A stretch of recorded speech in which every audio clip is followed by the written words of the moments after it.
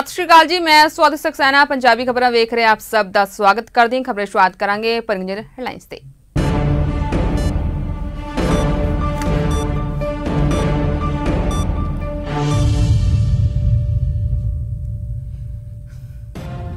ਪੂਰਬੀ ਲਦਾਖ ਦੀ ਗਲਵਾਨ ਘਾਟੀ ਵਿੱਚ ਭਾਰਤ ਤੇ ਚੀਨੀ ਫੌਜ ਵਿਚਾਲੇ ਝੜਪ ਦੌਰਾਨ ਸ਼ਹੀਦ ਹੋਏ ਕਰਨਲ ਸੰਤੋਸ਼ ਬਾਬੂ, ਸ਼ਹੀਦ ਸੁਨੀਲ ਕੁਮਾਰ ਤੇ ਸ਼ਹੀਦ ਮਨਦੀਪ ਸਿੰਘ ਨੂੰ ਅੰਤਿਮ ਵਿਦਾਇਗੀ। ਹਰਨਮ ਅਖ ਵੱਲੋਂ ਸ਼ਹਾਦਤ ਨੂੰ ਕੀਤਾ ਜਾ ਰਿਹਾ ਸਲਾਮ। ਜੰਮੂ ਕਸ਼ਮੀਰ ਦੇ ਪੁਲਵਾਮਾ ਜ਼ਿਲ੍ਹੇ ਵਿੱਚ ਸੁਰੱਖਿਆ ਫੋਰਸਾਂ ਤੇ ਅਤਵਾਦੀਆਂ ਦਰਮਿਆਨ ਅੱਜ ਮੁਕਾਬਲੇ ਦੌਰਾਨ ਇੱਕ ਅਤਵਾਦੀ ਢੇਰ ਮੁਹਿੰਮ ਹਲੇ ਵੀ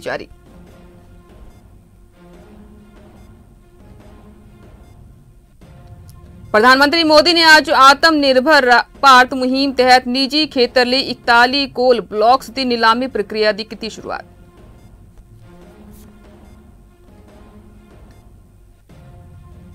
ਦੇਸ਼ ਭਰ ਵਿੱਚ ਮਹਾਮਾਰੀ ਦਾ ਵੱਡਾ ਉਛਾਲ ਪਿਛਲੇ 24 ਘੰਟੇ ਵਿੱਚ 12881 ਨਵੇਂ ਮਾਮਲੇ ਦੇਸ਼ ਵਿੱਚ 12237 ਲੋਕਾਂ ਦੀ ਹੋਈ ਮੌਤ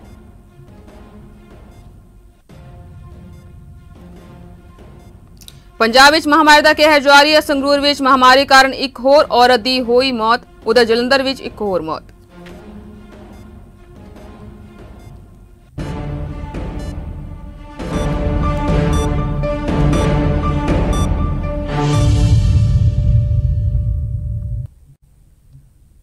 ਹੁਣ ਖਬਰਾਂ ਵਿਸਤਾਰ ਨਾਲ।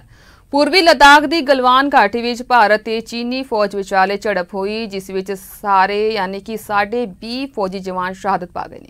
ਚੀਨੀ ਫੌਜੀਆਂ ਨੂੰ ਭਾਰਤ ਦੇ ਜਾਂਬਾਜ਼ ਭਾਰਤੀ ਫੌਜੀਆਂ ਨੇ ਕਰਾਰੀ ਪਟਖਣੀ ਦਿੱਤੀ, ਪਰ ਸ਼ਹੀਦਾਂ ਦੀ ਸ਼ਹਾਦਤ ਨੇ ਦੇਸ਼ ਦੀ ਹਰ ਅੱਖ ਨੂੰ ਨਮ ਕਰ ਦਿੱਤਾ ਤੇਲੰਗਾਨਾ ਦੇ ਰਹਿਣ ਵਾਲੇ ਕਰਨਲ ਸੰਤੋਸ਼ ਬਾਬੂ ਦਾ ਮਰਹੂਮ ਸ਼ਰੀਰ ਜਦੋਂ ਉਹਨਾਂ ਦੇ ਘਰ ਹੈਦਰਾਬਾਦ ਪਹੁੰਚਿਆ ਤਾਂ ਪੂਰਾ ਮਾਹੌਲ ਗਮਗੀਨ ਹੋ ਗਿਆ। ਸਾਰਿਆਂ ਨੂੰ ਕਰਨਲ ਸੰਤੋਸ਼ ਦੇ ਮਾਣ ਹੈ। ਉਹਨਾਂ ਨੇ ਦੇਸ਼ ਲਈ ਆਪਣੀ ਜਾਨ ਵਾਰ ਦਿੱਤੀ। ਸ਼ਹੀਦ ਕਰਨਲ ਨੂੰ ਸਰਕਾਰੀ ਸਨਮਾਨ ਨਾਲ ਸ਼ਰਧਾਂਜਲੀ ਭੇਟ ਕੀਤੀ ਗਈ।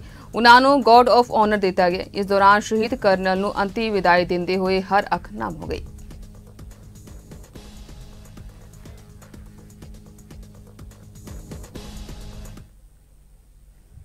ਉਧਰ ਭਾਰਤ, ਚੀਨ ਦੀ ਹਿੰਸਕ ਝੜਪ ਵਿੱਚ ਸ਼ਹੀਦ ਹੋਏ ਹੌਲਦਾਰ ਸੁਨੀਲ ਕੁਮਾਰ ਦਾ ਅੱਜ ਬਿਹਾਰ ਦੇ ਪਟਨਾ ਵਿੱਚ ਅੰਤਿਮ ਸੰਸਕਾਰ ਕੀਤਾ ਗਿਆ। ਸ਼ਹੀਦ ਸੁਨੀਲ ਨੂੰ ਕਾਫੀ ਗਿਣਤੀ ਵਿੱਚ ਲੋਕਾਂ ਨੇ ਨਮ ਅੱਖਾਂ ਨਾਲ ਅੰਤਿਮ ਵਿਦਾਇਗੀ ਦਿੱਤੀ। ਲਦਾਖ, ਸਰਹੱਦ ਤੇ ਸ਼ਹੀਦ 16 ਬਿਹਾਰ ਰੈਜੀਮੈਂਟ ਦੇ ਜਵਾਨ ਸੁਨੀਲ ਨੂੰ ਜਦੋਂ ਅੰਤਿਮ ਵਿਦਾਇਗੀ ਦਿੱਤੀ ਜਾ ਰਹੀ ਸੀ ਤਾਂ ਉਹਨਾਂ ਦੀ ਪਤਨੀ ਨੇ ਖੁਦ ਨੂੰ ਸੰਭਾਲਦੇ ਹੋਏ ਪਤੀ ਨੂੰ ਸਲਾਮੀ ਨਾਲ ਵਿਦਾਈ ਦਿੱਤੀ। ਉਹਨਾਂ ਨੇ ਕਿਹਾ ਕਿ ਮੇਰਾ ਸੁਨੀਲ ਅਮਰ ਰਹੇ। ਉਹਨਾਂ ਨੇ ਚੀਨ ਮੁਰਦਾਬਾਦ ਦਾ ਨਾਰਾ ਵੀ ਲਗਾਇਆ। ਸ਼ਹੀਦ ਹੋਲਦਾਰ ਸੁਨੀਲ ਕੁਮਾਰ ਦੇ ਬੇਟੇ ਨੇ ਉਹਨਾਂ ਦੀ ਅੰਤਿਮ ਕਿਰਿਆ ਕੀਤੀ। ਪਿਤਾ ਨੂੰ ਜਿਸ ਤਿਰੰਗੇ ਵਿੱਚ ਲਪੇਟਿਆ ਗਿਆ ਸੀ, ਉਹ ਬੇਟੀ ਨੂੰ ਸੌਂਪਿਆ ਗਿਆ। ਸੁਨੀਲ ਦਾ ਅੰਤਿਮ ਸੰਸਕਾਰ ਬਿਹਾਰ ਦੇ ਪਟਨਾ ਵਿੱਚ ਕੀਤਾ ਗਿਆ। ਇਸ ਵਿੱਚ ਉਹਨਾਂ ਦੀ ਪਤਨੀ ਨੇ ਕਿਹਾ ਕਿ ਚੀਨ ਤੋਂ ਬਦਲਾ ਲਿਆ ਜਾਣਾ ਚਾਹੀਦਾ ਹੈ। ਉਤੇ ਹੀ ਉਹਨਾਂ ਦੀ ਬੇਟੀ ਨੇ ਕਿਹਾ ਕਿ ਚੀਨੀ ਸਮਾਨ ਦਾ ਬਾਈਕਾਟ ਹੋਵੇ ਅਤੇ ਮੇਰੇ ਪਾਪਾ ਨੂੰ ਸਰਕਾਰ ਇਨਸਾਫ ਦਿਵਾਵੇ। ਦੱਸਣਯੋਗ ਹੈ ਕਿ ਅਸਲ ਵਿੱਚ ਅਸਲ ਕੰਟਰੋਲ ਰੇਖਾ LAC ਤੇ ਸੋਮਵਾਰ ਨੂੰ ਚੀਨ ਨਾਲ ਹੋਈ ਝੜਪ ਵਿੱਚ ਭਾਰਤ ਦੇ 20 ਫੌਜੀ ਸ਼ਹੀਦ ਹੋ ਗਏ ਸਨ।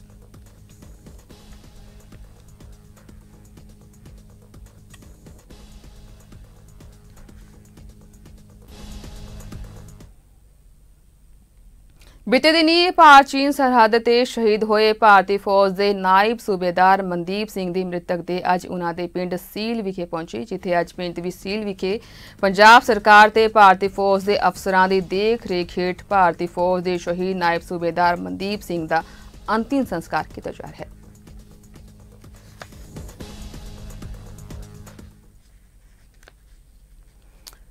ਜੰਮੂ ਕਸ਼ਮੀਰ ਦੇ ਪੁਲਵਾਮਾ ਜ਼ਿਲ੍ਹੇ ਵਿੱਚ ਸੁਰੱਖਿਆ ਫੋਰਸਾਂ ਅਤੇ ਅਤਵਾਦੀਆਂ ਦਰਮਿਆਨ ਅੱਜ ਹੋਏ ਮੁਕਾਬਲੇ ਦੌਰਾਨ ਇੱਕ ਅਤਵਾਦੀ ਢੇਰ ਹੋ ਗਿਆ ਹੈ। ਪੁਲਿਸ ਦੇ ਇੱਕ ਅਧਿਕਾਰੀ ਨੇ ਕਿਹਾ ਹੈ ਕਿ ਦੱਖਣ ਕਸ਼ਮੀਰ ਦੇ ਪੁਲਵਾਮਾ ਦੇ ਪੰਪੋਰੀ ਇਲਾਕੇ ਦੇ ਮੀਜ ਵਿੱਚ ਅਤਵਾਦੀਆਂ ਦੀ ਮੌਜੂਦਗੀ ਦੀ ਸੂਚਨਾ ਮਿਲਣ ਤੋਂ ਬਾਅਦ ਅੱਜ ਸਵੇਰੇ ਸੁਰੱਖਿਆ ਦਸਤਿਆਂ ਨੇ ਇਲਾਕੇ ਦੀ ਘੇਰਾਬੰਦੀ ਕਰਕੇ ਤਲਾਸ਼ੀ ਮੁਹਿੰਮ ਸ਼ੁਰੂ ਕੀਤੀ। ਉਹਨਾਂ ਦੱਸਿਆ ਕਿ ਅਤਵਾਦੀਆਂ ਦੇ ਸੁਰੱਖਿਆ ਕਾਮਿਆਂ ਤੇ ਗੋਲੀਬਾਰੀ ਕਰਨ ਤੋਂ ਬਾਅਦ ਤਲਾਸ਼ੀ ਮੁਹਿੰਮ ਮੁਕਾਬਲੇ ਵਿੱਚ ਬਦਲ ਗਿਆ ਸੁਰੱਖਿਆ ਦਸਤਿਆਂ ਦੇ ਜਵਾਨਾਂ ਨੇ ਵੀ ਗੋਲੀਬਾਰੀ ਦਾ ਮੂੰਹ ਤੋੜ ਜਵਾਬ ਦਿੱਤਾ ਹੈ। ਅਧਿਕਾਰੀ ਨੇ ਕਿਹਾ ਕਿ ਮੁਕਾਬਲੇ ਵਿੱਚ ਇੱਕ ਅਤਵਾਦੀ ਮਾਰਿਆ ਗਿਆ ਅਤੇ ਮੁਹਿੰਮ ਹਾਲੇ ਵੀ ਜਾਰੀ ਹੈ।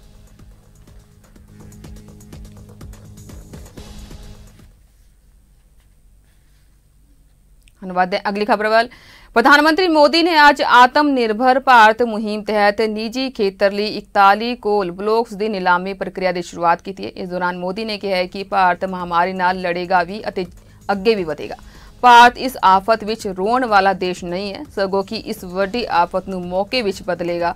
ਪ੍ਰਧਾਨ ਮੰਤਰੀ ਮੋਦੀ ਨੇ ਕਿਹਾ ਕਿ ਇੱਕ ਇੱਕ ਖੇਤਰ ਨੂੰ ਚੁਣ ਕੇ ਆਤਮ ਨਿਰਭਰ ਬਣਾਉਣਾ ਹੈ। ਅਸੀਂ ਕੋਲਾ ਸੈਕਟਰ ਨੂੰ ਦਹਾਕਿਆਂ ਦੇ ਤਾਲਾਬੰਦੀ ਨੂੰ ਹੀ ਬਾਹਰ ਕੱਢ ਰਹੇ ਹਾਂ। ਕੋਲਾ ਸੈਕਟਰ ਨੂੰ ਮੁਕਾਬਲੇ ਤੋਂ ਬਾਹਰ ਰੱਖਿਆ ਗਿਆ ਹੈ।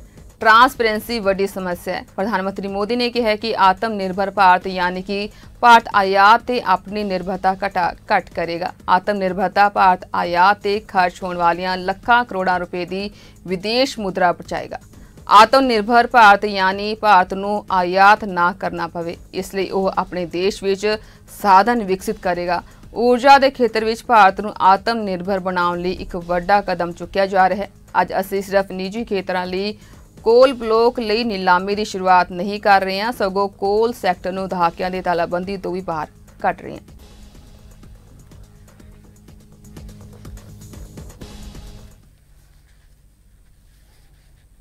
ਦੇਸ਼ ਵਿੱਚ ਮਹਾਮਾਰੀ ਦੇ ਮਰੀਜ਼ਾਂ ਦਾ ਅੰਕੜਾ ਲਗਾਤਾਰ ਵੱਧਦਾ ਹੀ ਜਾ ਰਿਹਾ ਹੈ। ਪਿਛਲੇ 24 ਘੰਟਿਆਂ ਦੇ ਅੰਦਰ 12881 ਨਵੇਂ ਮਾਮਲੇ ਦਰਜ ਕੀਤੇ ਗਏ ਨੇ ਅਤੇ 334 ਲੋਕਾਂ ਦੀ ਮੌਤ ਹੋਈ। ਸਿਹਤ ਮੰਤਰਾਲੇ ਵੱਲੋਂ ਅੱਜ ਜਾਰੀ ਤਾਜ਼ਾ ਅੰਕੜਿਆਂ ਮੁਤਾਬਕ ਹੁਣ ਦੇਸ਼ ਵਿੱਚ ਕੁੱਲ ਮਰੀਜ਼ਾਂ ਦੀ ਗਿਣਤੀ ਵੱਧ ਕੇ 366946 ਹੈ ਜਿਨ੍ਹਾਂ ਵਿੱਚੋਂ 12237 ਲੋਕਾਂ ਦੀ ਮੌਤ ਹੋ ਚੁੱਕੀ ਹੈ ਪਿਛਲੇ 24 ਘੰਟਿਆਂ ਵਿੱਚ 7390 ਮਰੀਜ਼ ਠੀਕ ਵੀ ਹੋਏ ਨੇ ਹੁਣ ਇਸ ਬਿਮਾਰੀ ਤੋਂ ਜੰਗ ਲੜ ਕੇ ਠੀਕ ਹੋਣ ਵਾਲੇ ਦੀ ਗਿਣਤੀ ਵੱਧ ਕੇ 194325 ਹੋ ਗਈ ਹੈ ਦੇਸ਼ ਵਿੱਚ ਸਰਗਰਮ ਮਾਮਲੇ ਦੀ ਗਿਣਤੀ ਵੱਧ ਕੇ 160384 ਹੈ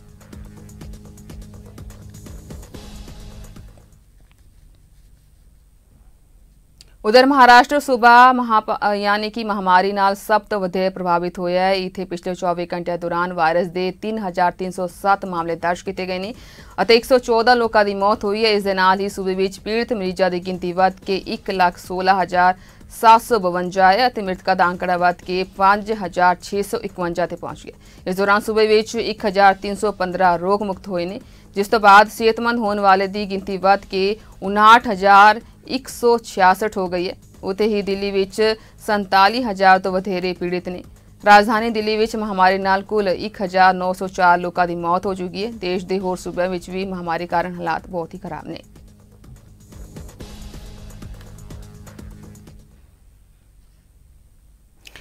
ਦਿੱਲੀ ਦੇ ਸਿਹਤ ਮੰਤਰੀ ਸਤਿੰਦਰ ਜੈਨ ਨੂੰ ਮਹਾਮਾਰੀ ਪੋਜ਼ਿਟਿਵ ਪਾਏ ਜਾਣ ਤੋਂ ਬਾਅਦ ਉਪ ਮੁੱਖ ਮੰਤਰੀ ਮਨੀਸ਼ ਸਿਸੋਦੀਆ ਨੂੰ ਸਿਹਤ ਮੰਤਰਾਲੇ ਦੀ ਜ਼ਿੰਮੇਵਾਰੀ ਸੌਂਪੀ ਗਈ ਹੈ। ਦਿੱਲੀ ਦੇ ਉਪ ਮੁੱਖ ਮੰਤਰੀ ਮਨੀਸ਼ ਸਿਸੋਦੀਆ ਨੇ ਅੱਜ ਸਿਹਤ ਪੀਡਬਲਯੂਡੀ ਬਿਜਲੀ ਅਤੇ ਹੋਰ ਵਿਭਾਗਾਂ ਦਾ ਅਹੁਦਾ ਸੰਭਾਲਿਆ, ਜੋ ਉਹਨਾਂ ਦੇ ਕੈਬਨਿਟ ਸਹਿਯੋਗੀ ਸਤਿੰਦਰ ਜੈਨ ਕੋਲ ਸਨ।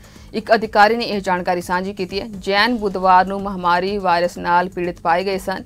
ਇਸ ਤੋਂ ਇੱਕ ਦਿਨ ਪਹਿਲਾਂ ਹੀ ਉਹਨਾਂ ਨੂੰ ਆਕਸੀਜਨ ਦੇ ਪੱਧਰ ਵਿੱਚ ਅਚਾਨਕ ਗਿਰਾਵਟ ਅਤੇ ਤੇਜ਼ ਬੁਖਾਰ ਤੋਂ ਬਾਅਦ ਤੜਕੇ ਰਾਜੀਵ ਗਾਂਧੀ ਸੁਪਰ ਸਪੈਸ਼ਲਿਸਟ ਹਸਪਤਾਲ ਵਿੱਚ ਭਰਤੀ ਕਰਵਾਇਆ ਗਿਆ ਸੀ। ਇੱਕ ਅਧਿਕਾਰੀ ਨੇ ਕਿਹਾ ਹੈ ਕਿ ਜੈਨ ਜਦੋਂ ਤੱਕ ਪੂਰੀ ਤਰ੍ਹਾਂ ਸਿਹਤਮੰਦ ਨਹੀਂ ਹੋ ਜਾਂਦੇ ਉਹ ਅਰਵਿੰਦ ਕੇਜੀਵਾਲ ਸਰਕਾਰ ਵਿੱਚ ਬਿਨਾਂ ਕਿਸੇ ਵਿਭਾਗ ਦੇ ਕੈਬਨਿਟ ਮੰਤਰੀ ਬਣੇ ਰਹਿਣਗੇ।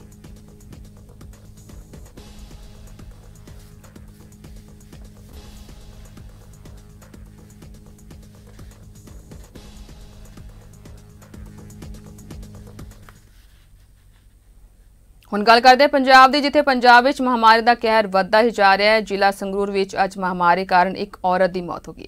ਮ੍ਰਿਤਕ ਔਰਤ ਲੁਧਿਆਣਾ ਦੇ ਸੀਐਮਸੀ ਹਸਪਤਾਲ ਵਿੱਚ ਦਾਖਲ ਸੀ। ਮਲੇਰਕੋਟਲਾ ਨੇ ਨੇੜਲੇ ਪਿੰਡ ਡੋਲੋਵਾਲ ਦੀ ਰਹਿਣ ਵਾਲੀ 68 ਸਾਲਾ ਔਰਤ ਮਹਾਮਾਰੀ ਤੋਂ ਪੀੜਤ ਸੀ। ਦੱਸਦੇ ਕਿ ਇਸ ਔਰਤ ਦੀ ਮੌਤ ਹੋਣ ਨਾਲ ਸੰਗਰੂਰ ਵਿੱਚ ਮਹਾਮਾਰੀ ਨਾਲ ਮਰਨ ਵਾਲੇ ਦੀ ਗਿਣਤੀ ਵੱਧ ਕੇ 5 ਹੋ ਗਈ ਹੈ।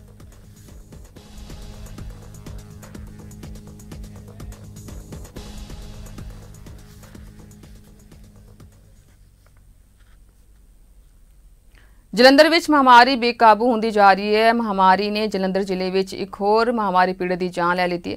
ਮਿਲੀ ਜਾਣਕਾਰੀ ਮੁਤਾਬਕ ਪਿੰਡ ਪਚੁਰੰਗਾ ਵਾਸੀ ਮਹਾਮਾਰੀ ਪੀੜਤਾ ਰੀਟਾ ਦੇਵੀ ਨੇ ਬੀਤੀ ਰਾਤ ਜਲੰਧਰ ਦੇ ਸਿਵਲ ਹਸਪਤਾਲ ਵਿੱਚ ਇਲਾਜ ਦੌਰਾਨ ਦਮ ਤੋੜ ਦਿੱਤਾ ਮੰਗਲਵਾਰ ਸਿਹਤ ਵਿਭਾਗ ਵੱਲੋਂ 32 ਮਰੀਜ਼ਾਂ ਦੇ ਮਹਾਮਾਰੀ ਪੀੜਤ ਹੋਣ ਦੀ ਪੁਸ਼ਟੀ ਕੀਤੇ ਜਾਣ ਦੌਰਾਨ ਇਨ੍ਹਾਂ ਮਰੀਜ਼ਾਂ ਵਿੱਚ ਸ਼ਾਮਲ ਬਲਾਕ ਭੋਗਪੁਰ ਦੇ ਪਿੰਡ ਪੰਚਰੰਗਾ ਦੀ ਰਹਿਣ ਵਾਲੀ ਪ੍ਰਵਾਸੀ ਜੁਨਾਨੀ ਰੀਟਾ ਰਾਣੀ ਦੀ ਬੀਤੀ ਰਾਤ ਸਿਵਲ ਹਸਪਤਾਲ ਵਿੱਚ ਮੌਤ ਹੋ ਗਈ।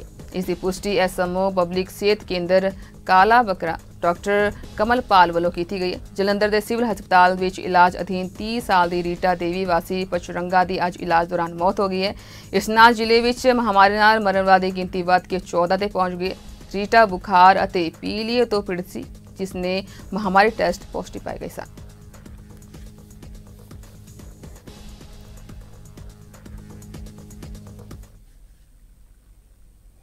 ਅੰਮ੍ਰਿਤਸਰ ਜ਼ਿਲ੍ਹੇ ਵਿੱਚ ਮਹਾਮਾਰੀ ਲਗਾਤਾਰ ਬੇਕਾਬੂ ਹੁੰਦੀ ਜਾ ਰਹੀ ਹੈ। ਜ਼ਿਲ੍ਹੇ ਵਿੱਚ ਅੱਜ ਫਿਰ ਮਹਾਮਾਰੀ ਦਾ ਵੱਡਾ ਧਮਾਕਾ ਹੋਇਆ, ਜਿੱਥੇ 8 ਹੋਰ ਲੋਕਾਂ ਦੀ ਰਿਪੋਰਟ ਪੋਜ਼ਿਟਿਵ ਪਾਈ ਗਈ ਹੈ। ਇਸ ਨਾਲ ਜ਼ਿਲ੍ਹੇ ਵਿੱਚ ਹੁਣ ਕੁੱਲ ਮਰੀਜ਼ਾਂ ਦੀ ਗਿਣਤੀ 665 ਤੇ ਪਹੁੰਚ ਗਈ ਹੈ, ਜਦਕਿ 157 ਲੋਕ ਠੀਕ ਵੀ ਹੋ ਗਏ ਨੇ ਅਤੇ ਘਰਾਂ ਨੂੰ ਪਰਤ ਚੁੱਕੇ ਨੇ। ਇਸ ਤੋਂ ਇਲਾਵਾ ਇੱਥੇ ਹੁਣ ਤੱਕ 25 ਲੋਕਾਂ ਦੀ ਮਹਾਮਾਰੀ ਕਾਰਨ ਮੌਤ ਹੋ ਚੁੱਕੀ ਹੈ।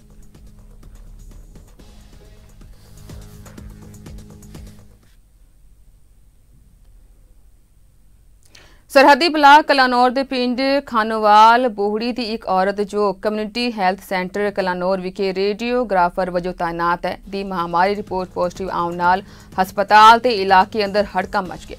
ਇਸ ਸੰਬੰਧੀ ਪੱਤਰਕਾਰਾਂ ਨੂੰ ਜਾਣਕਾਰੀ ਦਿੰਦੇ ਹੋਇਆ ਕਮਿਊਨਿਟੀ ਹੈਲਥ ਸੈਂਟਰ ਕਲਾਨੌਰ ਦੇ ਸੀਨੀਅਰ ਮੈਡੀਕਲ ਅਫਸਰ ਡਾਕਟਰ ਲਖਵਿੰਦਰ ਸਿੰਘ ਅਠਵਾਲ ਨੇ ਦੱਸਿਆ ਕਿ ਬੀਤੀ ਰਾਤ ਔਰਤ ਰੇਡੀਓਗ੍ਰਾਫਰ ਜੋ ਕਿ ਬਲਾਕ ਕਲਾਨੌਰ ਦੇ ਪਿੰਡ ਖਾਨੋਵਾਲ ਬੋੜੀ ਦੀ ਰਹਿਣ ਵਾਲੀ ਹੈ, ਦੀ ਰਿਪੋਰਟ ਪੋਜ਼ਿਟਿਵ ਆਉਣ ਕਾਰਨ ਉਸ ਨੂੰ ਗੁਰਦਾਸਪੁਰ ਸਰਕਾਰੀ ਹਸਪਤਾਲ ਵਿਖੇ ਇਲਾਜ ਲਈ ਭਰਤੀ ਕਰਵਾ ਦਿੱਤਾ ਗਿਆ।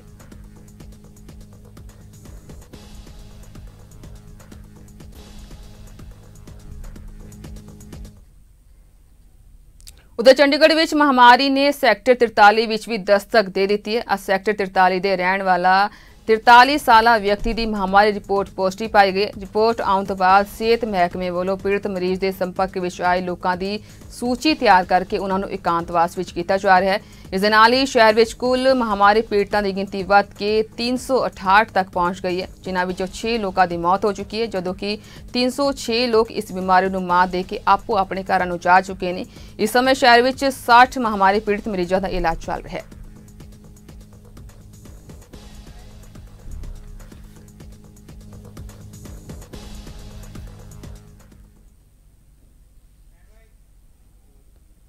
ਹੁਣ ਵਧਦੇ ਹਾਂ। ਅਗਲੀ ਖਬਰ ਵੱਲ, ਅੱਜ ਪੰਜਾਬ ਮੁੱਖ ਮੰਤਰੀ ਕੈਪਟਨ ਅਮਰਿੰਦਰ ਸਿੰਘ ਦੀ ਪ੍ਰਧਾਨਗੀ ਹੇਠ ਪੰਜਾਬ ਕੈਬਨਿਟ ਦੀ ਅਹਿਮ ਮੀਟਿੰਗ ਹੋਣ ਜਾ ਰਹੀ ਹੈ। ਮੀਟਿੰਗ ਦੁਪਹਿਰ 3 ਵਜੇ ਹੋਣ ਜਾ ਰਹੀ ਹੈ, ਜਿਸ ਵਿੱਚ ਮਹਾਮਾਰੀ ਤੇ ਤਾਲਾਬੰਦੀ ਸੰਬੰਧੀ ਪੰਜਾਬ ਦੇ ਮੌਜੂਦਾ ਹਾਲਾਤਾਂ ਤੇ ਸਮੀਖਿਆ ਕੀਤੀ ਜਾਵੇਗੀ। ਇਸ ਮੀਟਿੰਗ ਵਿੱਚ ਮੈਡੀਕਲ ਸਟਾਫ ਦੀ ਨਵੀਂ ਭਰਤੀ ਨੂੰ ਮਨਜ਼ੂਰੀ ਮਿਲਣ ਦੀ ਸੰਭਾਵਨਾ ਹੈ।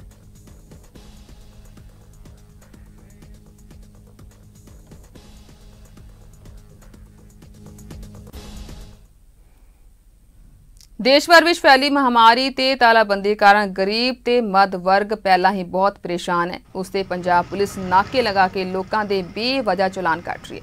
ਮਾਮਲਾ ਜਲੰਧਰ ਦੇ ਦਮੋਰੀਆ ਪੁਲ ਦਾ ਸਾਹਮਣੇ ਆਇਆ ਹੈ, ਜਿੱਥੇ ਪੁਲਿਸ ਨੇ ਦੋ ਨਾਕੇ ਲਗਾਏ ਹੋਏ ਨੇ ਜਿੱਥੇ ਪੁਲਿਸ ਹਰ ਇੱਕ ਵਿਅਕਤੀ ਨੂੰ ਰੋਕ ਕੇ ਚਲਾਨ ਕੱਟ ਰਹੀ ਹੈ ਜਿੱਥੇ ਪੁਲਿਸ ਨੇ ਨਾਕੇ ਦੌਰਾਨ ਇੱਕ ਵਿਅਕਤੀ ਦਾ 7000 ਰੁਪਏ ਦਾ ਚਲਾਨ ਕੱਟ ਦਿੱਤਾ। ਭਾਵੁਕ ਹੁੰਦਿਆਂ ਪੀੜਤ ਰਾਜਾ ਨੇ ਕਿਹਾ ਕਿ ਉਹ ਆਪਣੇ ਦਫ਼ਤਰ ਦੀਆਂ ਦੋ ਕੁੜੀਆਂ ਨੂੰ ਆਟੋ ਨਾ ਮਿਲਣ ਦੀ ਸੂਰਤ ਵਿੱਚ ਸਿਰਫ ਚੌਂਕ ਤੱਕ ਹੀ ਛੱਡਣ ਜਾ ਰਿਹਾ ਸੀ, ਜਿਸ ਤੇ ਪੁਲਿਸ ਵਾਲਿਆਂ ਨੇ ਉਸ ਨੂੰ ਨਾਕੇ ਤੇ ਰੋਕ ਕੇ 7000 ਰੁਪਏ ਦਾ ਚਲਾਨ ਕੱਟ ਕੇ ਉਸ ਦੇ ਹੱਥ ਵਿੱਚ ਫੜਾ ਦਿੱਤਾ।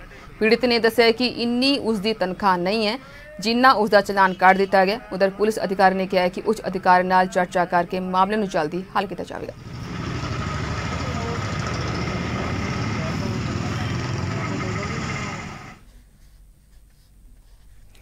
ਪਿੰਡੂ ਵਿਕਾਸ ਵਿਭਾਗ ਦੇ ਸਹਿਯੋਗ ਨਾਲ ਗੜਸ਼ੰਕਰ ਦੇ ਪਿੰਡ ਬੀਰਮਪੁਰ ਵਿਖੇ 2.5 ਕਨਾਲ ਵਿੱਚ 4 ਲੱਖ 70 ਹਜ਼ਾਰ ਰੁਪਏ ਦੇ ਵਿੱਚ ਪਾਰਕ ਬਣਾਇਆ ਗਿਆ, ਜਿਸ ਦਾ ਉਦਘਾਟਨ ਨਿਮਿਸ਼ਾ ਮਹਿਤਾ ਸਪੋਕਸਪਰਸਨ ਪੰਜਾਬ ਕਾਂਗਰਸ ਨੇ ਕੀਤਾ ਇਸ ਮੌਕੇ ਨਿਮੀਸ਼ਾ ਮਹਿਤਾ ਸਪੋਕਸਪਰਸਨ ਪੰਜਾਬ ਕਾਂਗਰਸ ਦੇ ਨਾਲ ਬੀਟੀਪੀ ਗੜਸ਼ੰਕਰ ਪਿੰਡ ਦੀ ਪੰਚਾਇਤ ਅਤੇ ਸਮੂਹ ਪਿੰਡ ਵਾਸੀ ਹਾਜ਼ਰ ਸਨ ਮੀਡੀਆ ਨਾਲ ਗੱਲਬਾਤ ਕਰਦੇ ਹੋਏ ਨਿਮੀਸ਼ਾ ਮਹਿਤਾ ਨੇ ਦੱਸਿਆ ਕਿ ਪਿੰਡ ਬੀਰਮਪੁਰ ਦੇ ਛੱਪੜ ਦੇ ਨਿਕਾਸ ਦੇ ਲਈ 7 ਲੱਖ ਰੁਪਏ ਦੀ ਰਾਸ਼ੀ ਜਾਰੀ ਕੀਤੀ ਜਾ ਚੁੱਕੀ ਹੈ ਅਤੇ ਹਲਕਾ ਗੜਸ਼ੰਕਰ ਦੇ ਪਿੰਡਾਂ ਵਿੱਚ ਵੱਖ-ਵੱਖ ਤਰ੍ਹਾਂ ਦੇ ਵਿਕਾਸ ਕੰਮਾਂ ਦੇ ਚੱਲ ਰਹੇ ਅਤੇ ਪਿੰਡਾਂ ਦੇ ਵਿਕਾਸ ਲਈ ਕਿਸੇ ਵੀ ਤਰ੍ਹਾਂ ਦੀ ਘਾਟ ਨਹੀਂ ਆਉਣ ਦਿੱਤੀ ਜਾਵੇਗੀ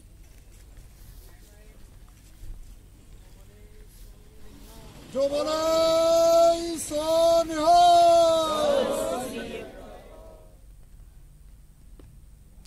ਅੱਜ ਆਵਾਰਾ ਪਸ਼ੂਆਂ ਕਾਰਨ ਸੜਕ ਹਾਦਸਿਆਂ ਦੀ ਗਿਣਤੀ ਦਿਨ-ਬ-ਦਿਨ ਵਧਦੀ ਜਾ ਰਹੀ ਹੈ, ਜਿਸ ਦੀ ਰੋਕਥਾਮ ਲਈ ਪ੍ਰਸ਼ਾਸਨ ਕੋਸ਼ਿਸ਼ ਕਰ ਰਿਹਾ ਹੈ। ਉਤੇ ਸਮਾਜਿਕ ਤੇ ਧਾਰਮਿਕ ਸੰਸਥਾਵਾਂ ਦੇ ਲੋਕ ਵੀ ਬਰਨਾਲਾ ਪ੍ਰਸ਼ਾਸਨ ਦਾ ਸਹਿਯੋਗ ਦਿੰਦੇ ਨਜ਼ਰ ਆ ਰਹੇ ਨੇ। ਜਿਸ ਦੇ ਚਲਦੇ ਅੱਜ ਵਿਸ਼ਵ ਹਿੰਦੂ ਪਰਿਸ਼ਦ ਦੀ ਟੀਮ ਵੱਲੋਂ ਬਰਨਾਲਾ ਵਿੱਚ ਘੁੰਮ ਰਹੇ ਆਵਾਰਾ ਪਸ਼ੂਆਂ ਨੂੰ ਫੜਨ ਲਈ ਮੁਹਿੰਮ ਚਲਾਈ ਗਈ, ਜਿਸ ਤਹਿਤ ਤਕਰੀਬਨ 200 ਦੇ ਕਰੀਬ ਆਵਾਰਾ ਪਸ਼ੂਆਂ ਨੂੰ ਬੜੀ ਜੱਦੋ-ਜਹਿਦ ਨਾਲ ਫੜ ਕੇ ਬਰਨਾਲਾ ਦੇ ਪਿੰਡ ਮਨਾਲ ਦੀ ਗਊਸ਼ਾਲਾ ਵਿਖੇ ਭੇਜੇ ਗਏ। ਇਹ ਸਾਰਾ ਕਾਰਜ ਬਰਨਾਲਾ ਸਿਵਲ ਪ੍ਰਸ਼ਾਸਨ ਤੇ ਨਗਰ ਨਿਗਮ ਮਿਊਨਿਸਪਲ ਕਮੇਟੀ ਦੇ ਦਿਸ਼ਾ ਨਿਰਦੇਸ਼ਾਂ ਅਨੁਸਾਰ ਹੀ ਕੀਤਾ ਗਿਆ।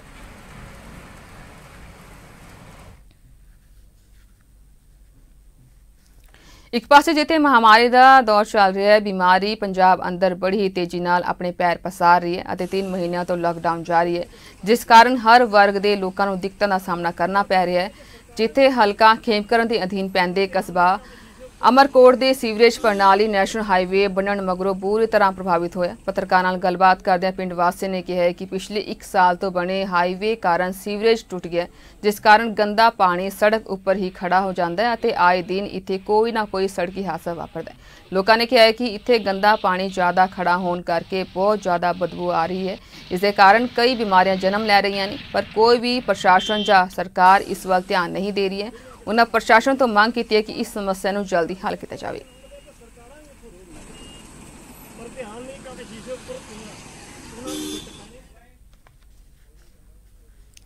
ਮਹਾਮਾਰੀ ਦਾ ਕਹਿਰ ਲਗਾਤਾਰ ਜਾਰੀ ਹੈ, ਜਿੱਥੇ ਪੰਜਾਬ ਵਿੱਚ ਆਏ ਦਿਨ ਮਹਾਮਾਰੀ ਦੇ ਪੋਜ਼ਿਟਿਵ ਕੇਸਾਂ ਦੀ ਗਿਣਤੀ ਵਧਦੀ ਹੀ ਜਾ ਰਹੀ ਹੈ, ਜਿਸ ਸੰਬੰਧੀ ਸਿਹਤ ਵਿਭਾਗ ਵੱਲੋਂ ਇਸ ਮਹਾਮਾਰੀ ਤੇ ਕਾਬੂ ਪਾਉਣ ਲਈ ਪੁਖਤਾ ਪ੍ਰਬੰਧ ਕੀਤੇ ਗਏ ਨੇ। ਅਤੇ ਲੋਕਾਂ ਨੂੰ ਸਮੇਂ-ਸਮੇਂ 'ਤੇ ਜਾਗਰੂਕ ਕੀਤਾ ਜਾ ਰਿਹਾ ਹੈ। ਉਤੇ ਜੇਕਰ ਅਸੀਂ ਗੱਲ ਬਰਨਾਲਾ ਦੀ ਕਰੀਏ ਤਾਂ ਜਿੱਥੇ ਧਾਰਮਿਕ ਤੇ ਸਮਾਜਿਕ ਸੰਸਥਾਵਾਂ ਦੀ ਵੀ ਇਸ ਜ਼ਿਲ੍ਹਾ ਪ੍ਰਸ਼ਾਸਨ ਦਾ ਸਾਥ ਅਤੇ ਸਹਿਯੋਗ ਦੇ ਰਹੇ ਨੇ। ਜਿੱਥੇ ਚੱਲਦੇ ਅੱਜ ਵਿਸ਼ਵ ਸਿੰਧੂ ਪ੍ਰੀਸ਼ਦ ਦੇ ਪੰਜਾਬ ਪ੍ਰਮੁੱਖ ਵਿਜੇ ਕੁਮਾਰ ਮਾਰਵਾੜੀ ਨੇ ਬਰਨਾਲਾ ਸਿਹਤ ਵਿਭਾਗ ਦੇ ਸਾਰੇ ਸੀਐਮਓ ਸਮੇਤ ਸਾਰੇ ਡਾਕਟਰਾਂ ਦਾ ਵਿਸ਼ੇਸ਼ ਤੌਰ ਤੇ ਸਨਮਾਨ ਕੀਤਾ।